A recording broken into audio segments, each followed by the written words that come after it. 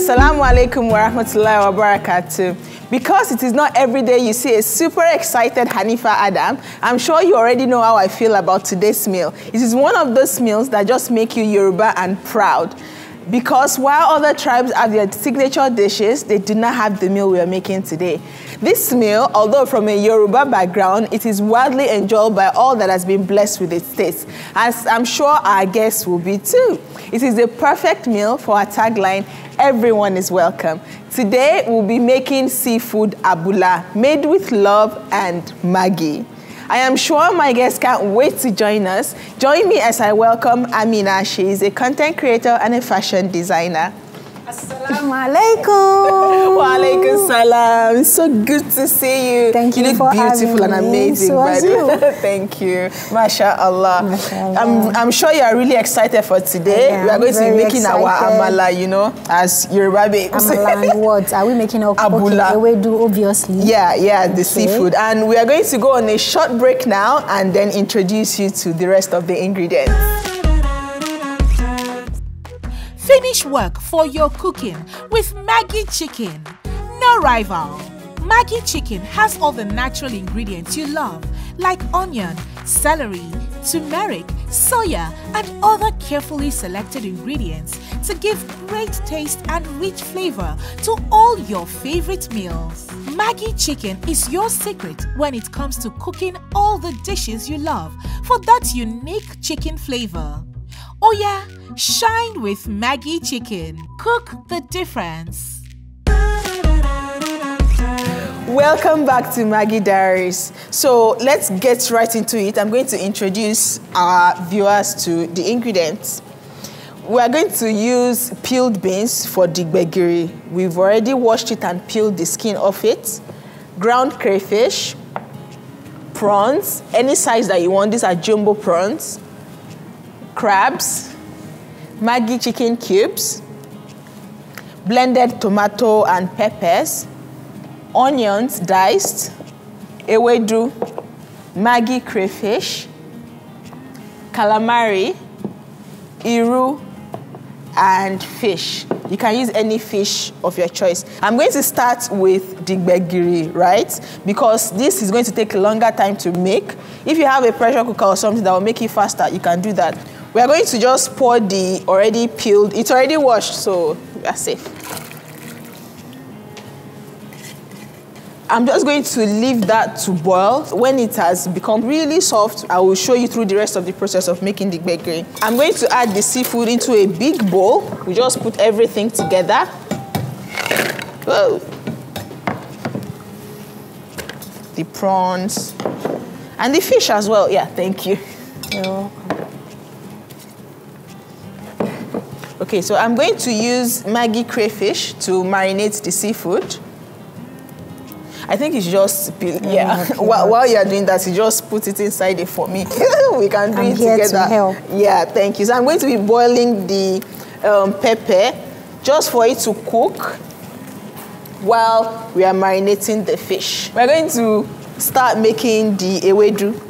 Do you start cooking your ewedu by putting them in boiling water or you bring it to boil like this as well? I boiled the water first. Or you boil the water first. You can use any method for it. You can bring it to boil, you can boil the water first. I'm going to add iru to it. So I'm just going to bring it to boil. Everything is cooking. We are going to go on a short break now. We are going to add the uh, marinating seafood into the stew, and then everything is going to cook together. Thank you so much for staying with us. We'll be right back. Welcome back to Maggi Diaries. Our food has been cooking for a while now. I'm going to add um, onions to the beans to soften it and to just add flavor to it as well. The tomato blend has been cooking as well, and I'm going to add our seafood to it. Do you prefer using palm oil for your soup or um, vegetable oil? I use palm oil. Palm oil. Okay. Yes. I, mean, I think that's growing up. That's actually one of the most That was popular almost every mother's use. use. So we are going to add palm oil to the omiobe as well. You know, to boil everything together.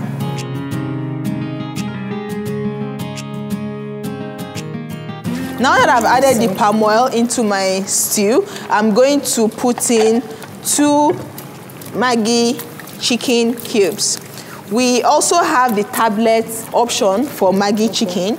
You know, it, the, the flat one. It has The Maggi chicken is my grandma's favorite. That's what I grew up using. Oh, Maggi chicken eh, all Yes. the time. Yeah, ah, that's amazing. It's in, it's in the She. Yeah, calls so yeah, you know the calls tab. it Maggi alakuko pelebe. Maggi alalubo pelebe. Yeah, that one has two cubes inside already. So Yes. if you want just one cube, you use the smaller, one. Smaller, But if you are okay. using two cubes for your Maggi alakubo pelebe. That- that's amazing. Let me check. it. Oh, yeah, it is. In sorrow? Which one do you prefer to use for this stew? Do you want to use Maggi crayfish or we should use Maggi chicken? I'll use Maggi chicken. Maggi, okay. My grandma's favorite. Right. Now that our meal is ready, like you know, ready for the next stage, um, the begiri is cooked. You can see how the onions have worked its magic. It's like Wow. really so, exactly. You can add more water as it's cooking, just so that it will be soft and mushy and just be ready to blend. I'm going to turn that off now. We're going to let it cool down before blending it. And the obe, oh Wow. obe, yeah, obe two is ready That looks yummy. as you can see the obeit you should have more proteins in your meal so that the amala won't be too much and you can have like a light meal for iftar so that you won't be too heavy and, And so that you can pray your tarawih. Eh, exactly there is a trick i just recently learned let me get um, a wooden spoon instead of like pouring it into the boiling water then you're mixing it mixing it mixing it up we are going to just it's like making semo. Semo. Eh, eh. I'm just going to mix it with cold water first, so that that way it's like easier to make. I, mean, can't what- see- I can't wait to see what it turns out it- it's like. going to yeah. I'm going to like just mix it up. Thank you. Just make a very thick paste. And then we're going to go on a break, you know, while I'm mixing it up so that we'll have a thick paste. And I will come back, we'll show you the last step of making the amala. Thank you so much, and we'll be right back.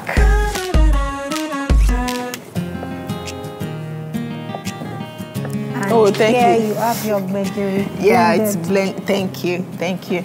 So um, since we've blended our gbegiri, and I'm just going to finish it up on um, the stove.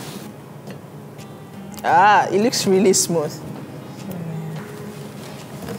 That's okay. So now I'm going to add palm oil. I'm going to add crayfish and two Maggi chicken cubes.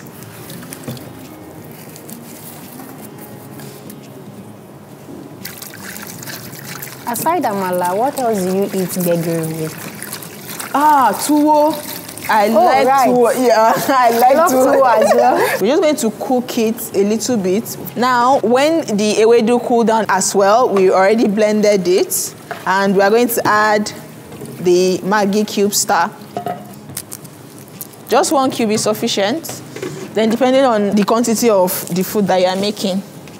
If the ewedu is still warm, you can just mix it together. You don't need to add heat. Just mix it together. But I'm just also going to cook it for like 30 seconds again, like just to warm it up. Yeah. So I'm going to turn off the heat for the gbegiri now because it's uh, yeah, it's it's done. It's done. We are we are done with that. Let me just stir it together. Wow. Yeah, wow. That's done. Already too, we've heated it up and it's done. I'm just going to turn off the heat. Our stew too is ready. The holy trifecta, we are done. It's now time for our amala. Yes, we've, I mean, this is the star of the show. master of the meal. I know. Okay, our water has boiled. While um, because this will take a while, a little bit, because we are going to wait for it to cook. Then I'll I'll immediately start stirring. And while I'm doing this, you know, mixing it all up together, I have a question for you, which our viewers at home can benefit from too. Don't be scared. It's, it's um, the Eid that we celebrate after the end of Ramadan, you know, after 29 or 30 days of fasting, what's that Eid called? So that's what you want to ask me. I know. I thought you were going to I ask I me thought was- something very hard. Uh, yeah, I thought it was going to Is be it easy. the Fitri now? Yes, it's Eid al-Fitr. We celebrate Eid al-Fitr after fasting for all the days of Ramadan to celebrate the resilience, to celebrate our hard work and the good deeds we've, um, you know, gotten during the Ramadan. And may Allah accept it from us, our fasting. I've learned Quite a work. lot Yeah, you, you can see things, exactly. yeah. So any way to make amala, better way to make begiri. Oh, so I'm just going to. Oh, sorry. I'm going to now take it off the heat and then, you know, just do our. Wow. Yeah. See, it's actually quite So easy. succulent. Yes, and it's very, I mean, you see. No it is- lump. No, no lumps, and it's Nothing. very easy as well. So we just finish it up. Finish work for your cooking with Maggi Chicken. No rival. Maggi Chicken has all the natural ingredients you love, like onion, celery, turmeric, soya, and other carefully selected ingredients to give great taste and rich flavor to all your favorite meals. Maggi Chicken is your secret when it comes to cooking all the dishes you love for that unique chicken flavor. Oh yeah, shine with Maggi Chicken. Cook the difference. Welcome back to Maggi Diaries. Um, our iftar is ready. It's looking sumptuous. What do you think? Looks amazing. I can't wait to have a taste of it. Yeah, inshallah, we're going to like have we are going to have a very lovely iftar. I just also want to make finishing touches to this. I mean, you know, I'm an artist, so obviously I have a treat for you. You're going to be seeing the food art that I get up to when I'm not in front of the TV hosting for you.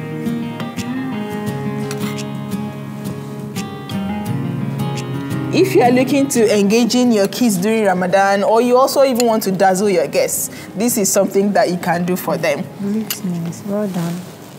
I created a lantern with ewedu and begiri and the stew, you know, just to put some razzle dazzle with the stew. And this is just to um, to symbolize, you know, the lantern we carry for Tarawih, especially during the Laylatul Qadr when we are like outdoors most of the time. We need to illuminate the area that we are worshiping in. So this is my treat from you guys as Haneefah, the visual artist, as well.